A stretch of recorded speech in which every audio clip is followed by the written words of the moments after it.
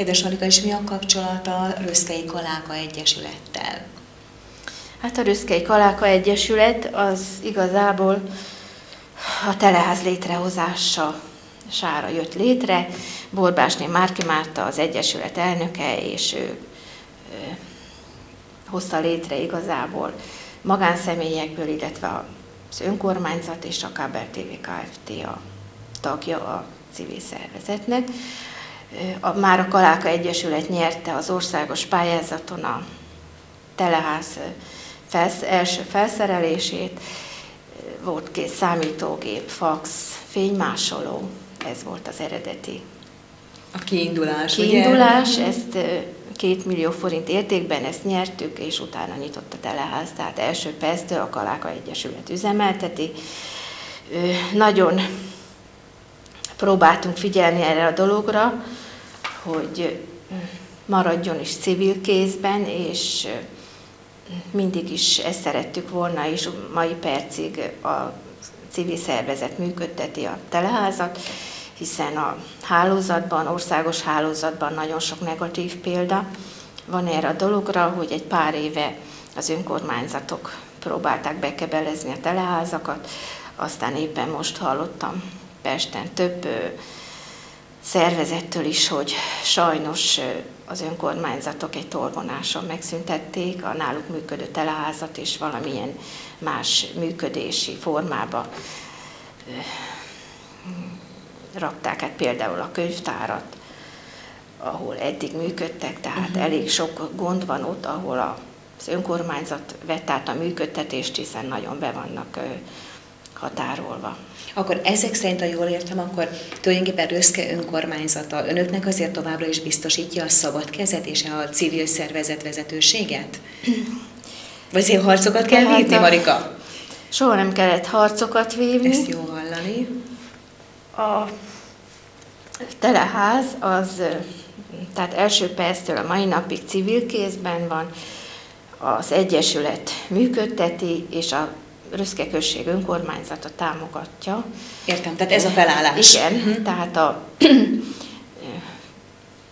a támogatást azt a civil szervezeteknek nyújtott szolgáltatásokért kapja a teleház. Uh-huh. Röszkén elég sok jól működő civil szervezet van, környezetvédő egyesület, országos hírű Polgárőr Egyesület, Horgász Egyesület, Egészségvédő Egyesület,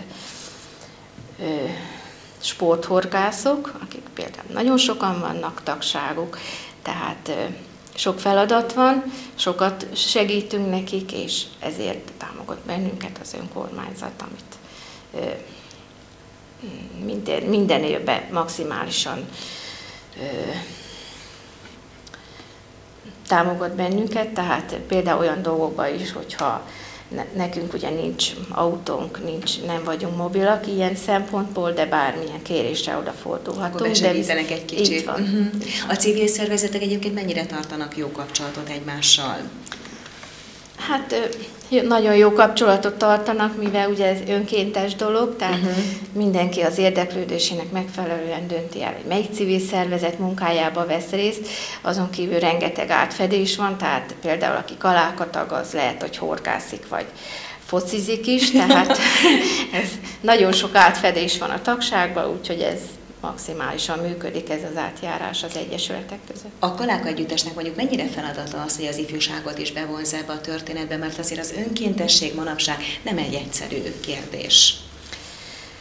Hát annyira feladata, hogy befogadó szervezetei vagyunk, a szervezete vagyunk a Röszkei Gyermek és Ifjúsági Önkormányzatnak.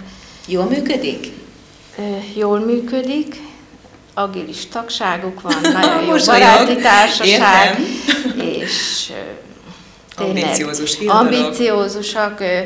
Hát csak annyit mondhatok, hogy például már két musicalt nagyon-nagyon színvonalasan színpadra állítottak, nagyon komoly munka és, és hihetetlen erőfeszítés, és nagyon sok izgalommal Csillog a szeme, Marika, meghatódott? Vagy egy kicsit Nagyon sok, rájuk? És... természetesen. Uh-huh, uh-huh. Jó ezt hallani, hogy ilyen működik. Tehát tulajdonképpen akkor úgy néz ki, hogy az utánpótlás az, az megvan, és ennek az utánpótlásnak, az ifjúságnak mennyire sikerül átadni azokat a röszkei hagyományokat, amelyeket azért a régi nagy öregek fölállítottak, fölépítettek, és szeretnék, hogyha tovább élne. Röszkei hagyományokat az Egyesület alapszabályában igen, a hagyományőrzés fontos célként szerepel, azóta is szem előtt tartjuk ezt a dolgot. Ilyen helyi múzeum vagy kiállító hely az régi adósságunk, a településsel szemben, rajta. igen, ez régóta folyik a gyűjtés egyébként, és van is sok adomány, amik most éppen el vannak raktározva, és ez mhm. régi adósságunk, hogy, hogy ezt megvalósítsuk. És lenne is egyébként elképzelés, hogy hova kellene ezt berakni? Tehát lenne egy olyan... Hát volt elképzelés, de az más célra, ő ifjúsági ház lett ebből a szolgálati lakásból, amit eredetileg uh-huh. ilyen Kis helyi, helyi múzeum. Uh-huh. Hát múzeumnak ugye nem lehet nevezni, mert most már komoly feltételei vannak egy múzeumnak, de egy kiállító hely az, az, az összejöhetne még.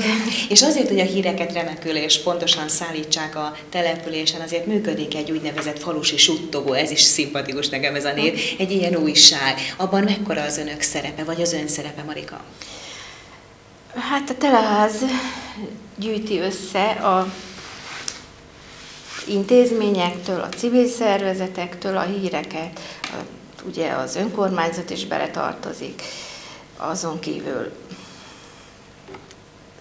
helyi hirdetéseket is fölveszünk, Igen. tehát bárki behozhat egy pármondatos hirdetés, lakossági hirdetésként, céges hirdetéseket, hiszen azok is fogadunk, hiszen azok is információt hordoznak egy hirdetésre. Ingyenesek a hirdetések? Hát a vállalati az ő neki, vagyis a céges hirdetés annak van ára, a lakossági az egy 500 forintért bárki uh-huh. hirdethet ilyen. Népszerű ez a suttogó? Hát népszerű, mert hogyha nem jelenik meg tizedike körül, akkor már mindenki reklamál, hogy én nem kaptam, és akkor mondjuk, hogy nem véletlen, mert még nem is jelent meg. Uh-huh.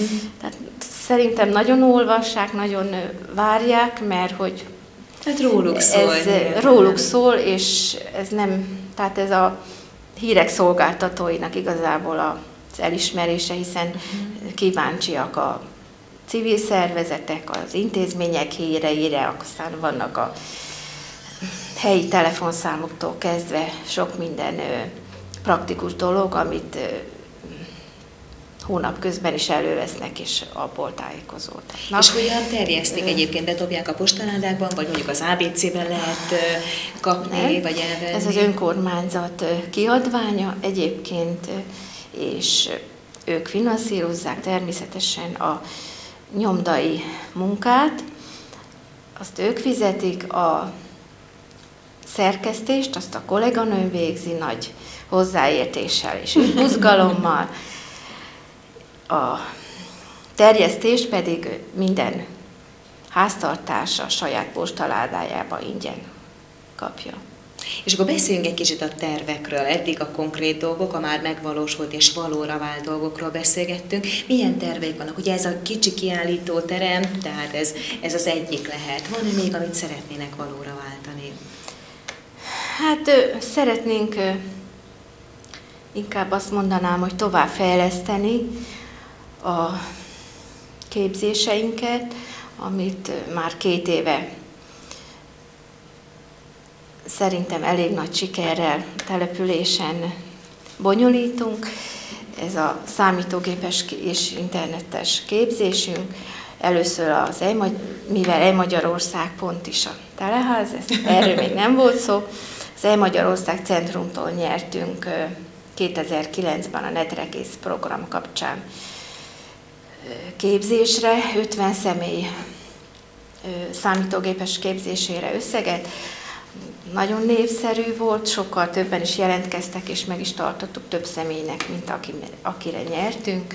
Azon kívül tavaly az uniós Grundvik programban az egész életen át tartó tanulás keretében nyertünk szintén képzésre, illetve egy rövid angol tanfolyamra is jutott belőle. Ezeket mindenképpen szeretnék folytatni. Pályázatot kerestünk rá, eddig még nem sikerült pénzt szerezni, de abban a percben, hogy, hogy valami finanszírozás lesz, akkor ezt, ezt szeretnék folytatni, hiszen nem győzöm mondani, hogy a helyi igényeket kell kielégíteni, és ez, erre nagy igény van most. Én azt gondolom, hogy azt a munkát, amit ön végez, ez csak szívvel, lélekkel és teljes odaadással lehet. Ez gyakorlatilag már egy ilyen gyerekkori indítatás, vagy felnőtt korában jutott el addig, hogy szeretne segíteni a röszkeieknek. Nem volt soha ilyen, én is saját magamnak is meglepetést okoztam ezzel. Ez a legérdegesebb mert dolog, igen. soha nem volt ilyen, ilyen tanári ambíciói, mert nem tudtam volna képzelni, hogy ebbe én belevágok. Soha nem. Én számítástechnikán dolgoztam 20 évet előtte, mielőtt teleházzal foglalkozok, foglalkoztam volna, úgyhogy nekem ez volt a veszőparipám, meg mai percig is ez. És csak azt látom, hogy tehát muszáj megtanulni, egy felnőtt ember ennélkül most már nem boldogul, és ezt mondom sok éve, hiába mész nyugdíjba, hiába mész másik munkahelyre, egyszer nem tudod megúszni, akkor sokkal egyszerűbb, hogyha most mindjárt vágjunk bele, és tanul, meg kell tanulni ennyi. Igen, igen, Aztán igen. itt a most, most már teljesen, tehát nem csak munkába használja mindenki, hanem a, ott vannak a különböző közösségi oldalaktól kezdve. Tehát van, annyira, annyira elterjedt, aztán igazi veszőparipám az elügyintézés, közhasznú információk, hogy, hogy nem kell ahhoz Szegedre bebuszozni és fél napot eltölteni, hogy megtudjam, hogy nem vittem magammal valamit a, a személyigazolvány kiváltás vagy meghosszabbításhoz. Tehát annyira igen. könnyíti az életüket, aki megtanulja, és, és, és most már rájöttek. Tehát ez, évek alatt rájöttek, hogy nem lehet megúszni ennyi, és hiába megy nyugdíjba, akkor még, akkor még jobban használja, igen, akkor igen. még van rá ideje. Így van. És akkor eljött 2010. augusztus a falunap. És akkor azt mondták, hogy akkor ön legyen szíves, jöjjön és vegyen át egy kitüntetés. Ez így volt? Hát ez körülbelül, így, körülbelül így volt, mert ugye kolléganőm nagy tudora a különböző okleveleknek, meghívóknak, és ugye nálunk készül az összes meghívó ami a kitüntetésekhez, meg egyáltalán a valami díjakhoz jár, falunap alkalmából is. És én ennél fogva ugye elég korán tudomást szerzünk igen, ezekről, igen. hogy ki lesz a díszpolgár, ki lesz, ki kap kitüntetést.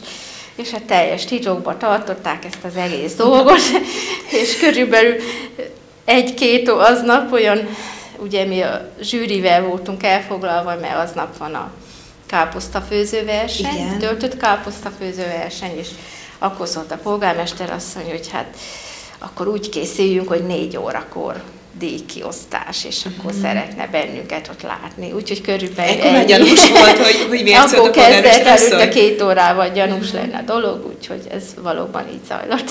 És boldogsággal töltötte el? Jó érzés hát természetesen, volt? hát kinek nem, mindenkinek. Persze, igen jó érzés ez a dolog. És most már tulajdonképpen ez a kitüntetés tovább buzdítja, kicsit kötelezi, hogy igenis, hogy továbbra is le kell tenni ugyanezt a minőségű munkát az hát, asztalra? Igen, igen. Hát akkor ehhez kívánok önnek nagyon-nagyon sok erőt. Köszönöm szépen, hogy elmesélte nekünk, hogy mi az a teleház. Örülünk, hogy bekukkanthattunk a röszkeiek egy kicsi életébe. Köszönöm, hogy itt volt. Kedves nézőink, ma esti vendégünk Perlakiné Ács Mária volt. Köszönöm, hogy meghallgatták a beszélgetést, hogy velünk tartottak. További szép estét viszontlátásra!